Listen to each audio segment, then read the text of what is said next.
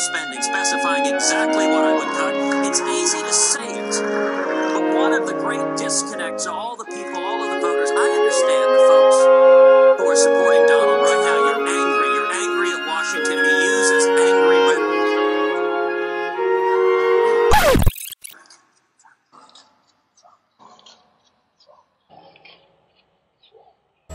motherfucker.